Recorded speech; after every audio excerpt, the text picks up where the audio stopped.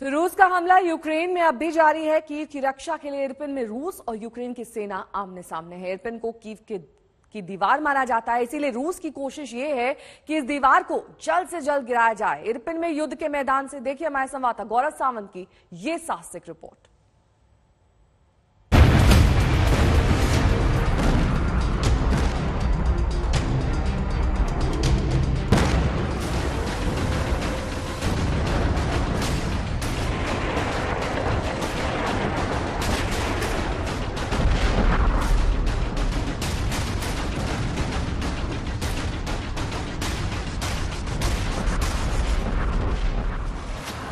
राजधानी कीव पर कब्जे के अभियान के बीच ये शहर इरपिन वो दीवार है जो रूस की सेना को अब तक रोक रही है। यही वजह है रूस की सेना ने इरपिन पर बड़े हमले की तैयारी तेज कर दी है। क्योंकि जब तक इरपिन पर कब्जा नहीं होगा, तब तक कीव पर कब्जा करना मुश्किल है। यही वजह है कि इरपिन में यूक्रेन और रूस की सेना आमने सामने है। इरपिन और बूचा बहुत ही महत्वपूर्ण शहर है। क्यों ये महत्वपूर्ण है? क्योंकि इरपिन और बूचा द्वार है कीव का और इसीलिए इरपिन और बूचा की रक्षा आ, कीव की रक्षा के लिए बहुत महत्वपूर्ण हो जाता है और इसीलिए यहाँ पर ज़बरदस्त लड़ाई पिछले 36 दिनों से चली है।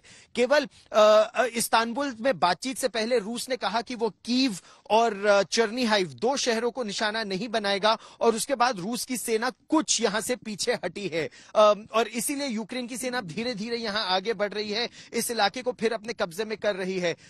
इसको अपने कब्जे में करना इसलिए ज़रूरी है ताकि कीव की रक्षा की जा सके। यहाँ कुछ आवाज़ अभी भी सुनाई दे रही है, कुछ तरह के विस्फोट हो रहे हैं, लेकिन अभी ये साफ़ नहीं है कि ये जो विस्फोट हमको सुनाई दे रहे हैं, ये वो बारूदी सुरंगे या एंटी टैंक माइंस है या एंटी पर्सनल माइंस हैं, जिनको निष्क्रिय किया जा रहा है यूक्रेन की सेना द्वारा, या फिर ये प्रो अटैक्स है, या फिर रूस की सेना जो ये कहा जा रहा था कि वो हटके बेलारूस की तरफ़ गई है। यूक्रेन की सेना के जिन अधिकारियों के साथ हम हैं, उनका ये आकलन है कि ये केवल रीग्रुप कर रहे हैं, थोड़ा पीछे हटके हटे नहीं है।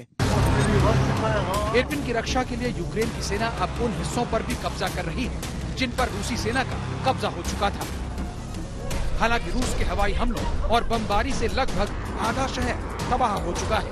300 लोग मारे जा चुके हैं और जो ज़िंदा हैं, उनके सामने बिजली और पानी का संकट है। लेकिन कीव को बचाने के लिए यूक्रेन की सेना इरपिन में डटी हुई है।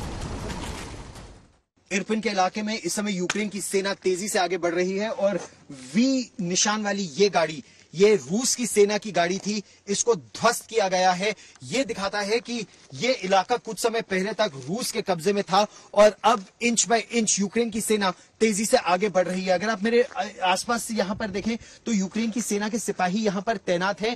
इन जंगलों को पहले क्लियर किया जा रहा है और जो जो इलाका क्लियर हो जाता है वहाँ पर लग, एक झंडा लगा के वो बता रहे हैं कि अब यहाँ पर बारूदी सुरंग यानी एंटी पर्सनल माइंस या एंटी टैंक माइंस नहीं है। ये बिल्कुल फ्रंटलाइन है इरपिन के उस इलाके में जहाँ रूस की सेना और यूक्रेन की सेना कुछ घंटों पहले तक उनमें मुठभेड़ चल रही थी लेकिन अभी रूस की सेना पीछे पीछे हटी है यूक्रेन की सेना उन्हें पीछे हटाने में सफल हुई है।